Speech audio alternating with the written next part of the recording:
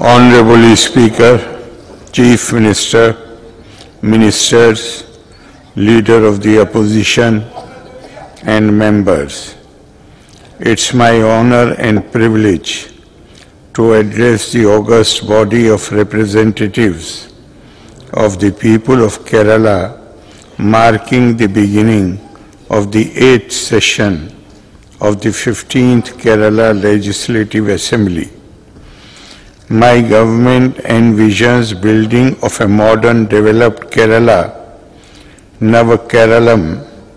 We focus on digital and technological progress, scientific temper, and new levels of production and decent employment, particularly for the youth who are entering the labor force.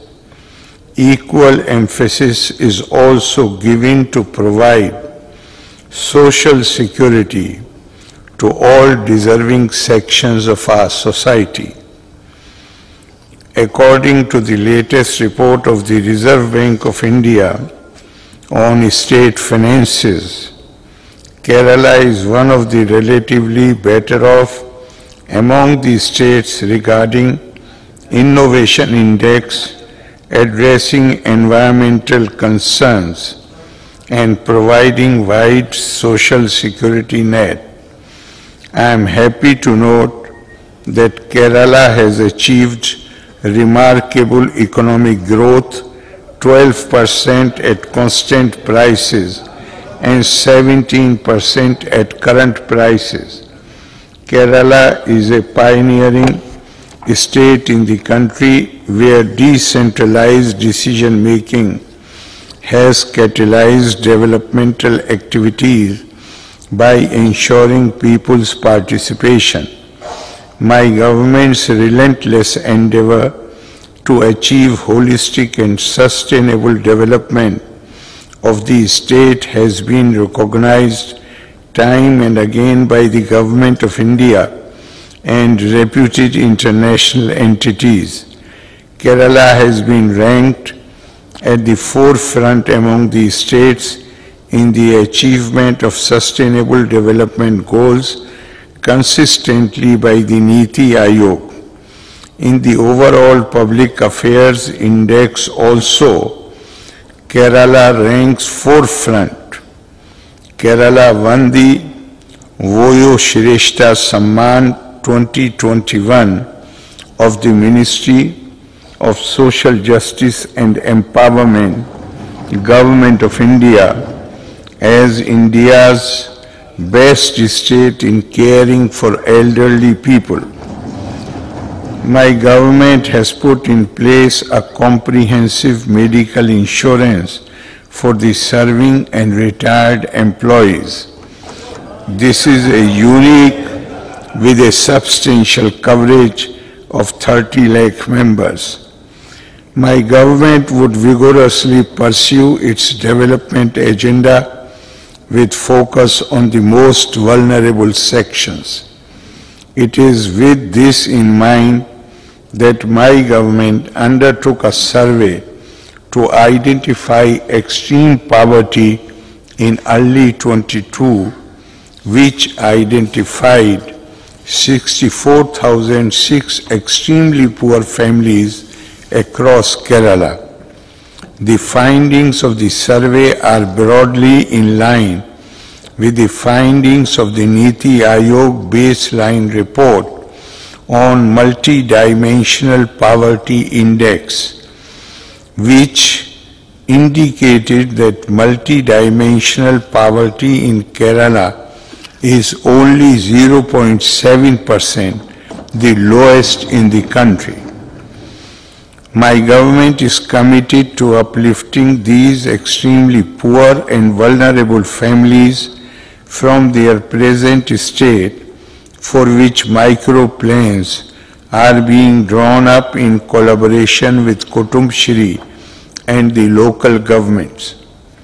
My government is committed to land and housing for all in both rural and urban areas under the aegis of the Life Mission launched in 2016, three 22922 houses and four multi-storied complexes have been completed as on 15th January 2023.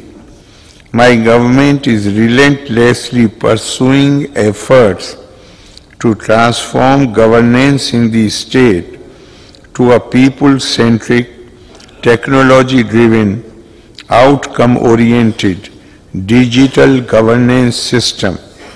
All departments and public institutions transact their work through the e-office digital platform. More than 1900 services have been made online. The integrated local government management system has been operationalized in all Gram Panchayats of the state, the K-Smart application for urban local bodies will be rolled out by April 1st, 2023. I am happy to note that this would revolutionize service delivery in urban local bodies. Dashboards have been set up for tracking progress of applications and service delivery in local governments as well as government departments with citizen interface. In order to address the issue of unemployment, my government initiated a massive program, the Kerala Knowledge Economy Mission, with the aim of creating 20 lakh jobs in the economy within the next five years. The India Skills Report 2022 ranks Kerala third among the states in terms of employability of its youth. I am also happy to note that the concerted efforts taken by my government in improving investment atmosphere of the state have started bearing fruit.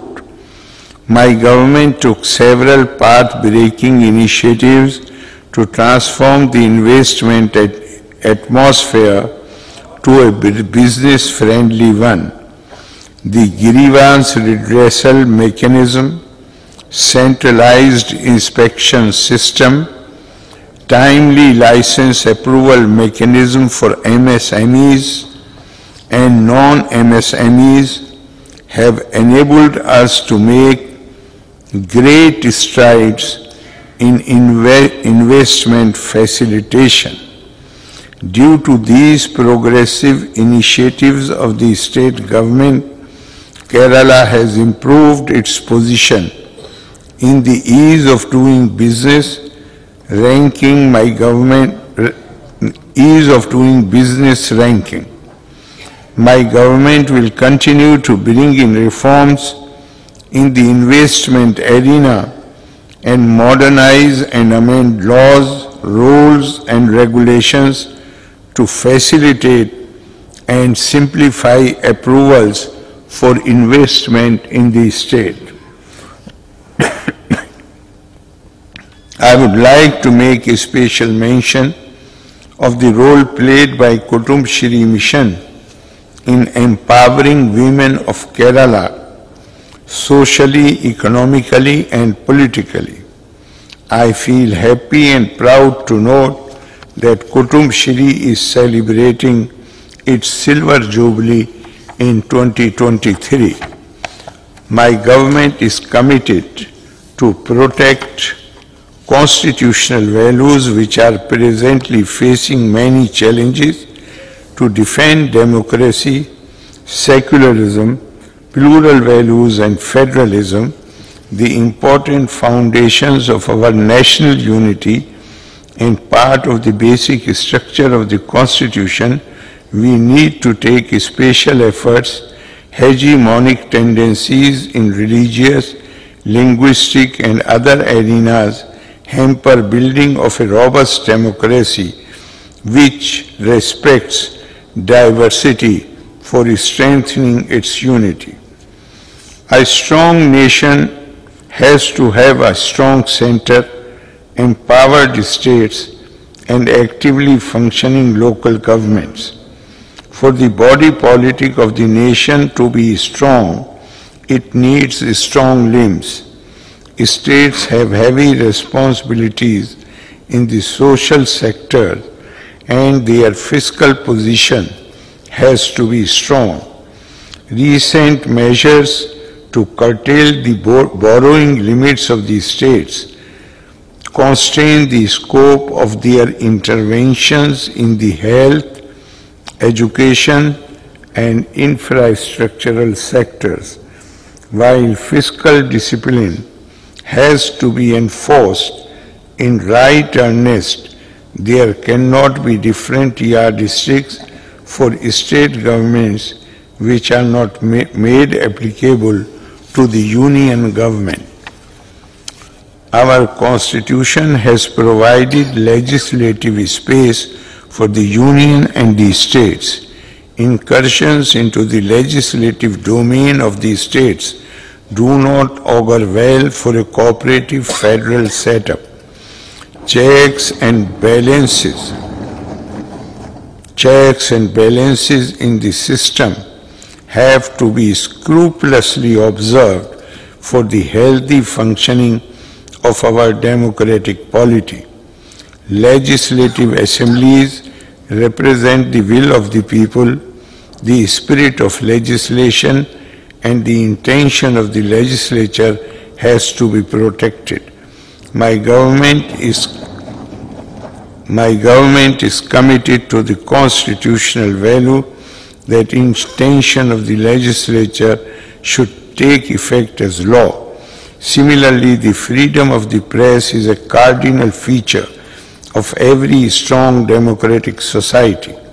Free and fair media activities are to be protected. Some instances of curtailing the freedom of the press in different ways are coming up in some parts of the country. My government is always committed to protect the freedom of the press. Here it needs here it needs to be underscored that even remotely a perception that agencies empowered to investigate matters regarding compliance to laws are acting in a manner which deviates from the professionalism expected from them. Agriculture and allied sectors.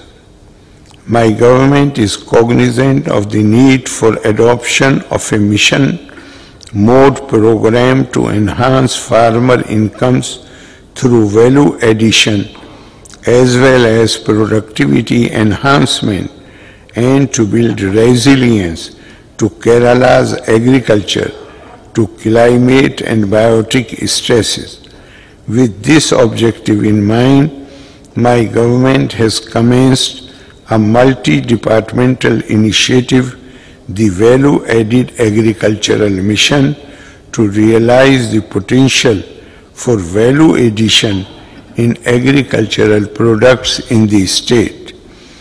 As announced in the budget of 22-23, the Agriculture Department is floating a company, Kerala Agri Business Company, to accelerate agri-business projects and agro-food parks in the state. As implemented in Aluva State Seed Farm, more activities in organic and natural farming will be initiated during 2023-24. Farming systems that can regenerate degraded lands and prevent losses to the arable lands using adequate conservation measures have been attempted by the department. Adequate thrust will be given to the plantation sector in 23-24. The existing special livestock breeding program of Animal Husbandry Department will be implemented in a revamped manner. More emphasis will be provided for strengthening quality doorstep veterinary service delivery to farmers. Mobile veterinary surgery units with advanced diagnostic and treatment facilities will be established as part of a Rebuild Kerala initiative program. The department will continue the comprehensive livestock insurance scheme Go, Go Samriddhi with the lowest premium rates. Interventions by the Dairy Development Department to supplement clinical and animal health management practices have helped Kerala attain self-sufficiency in milk production. The department has inducted high-yielding crossbreed cows and heifers to the existing cattle population of the state. The department will carry out a special quality assurance drive for detection of aflatoxin and antibiotic residues in milk, milk products and cattle feed.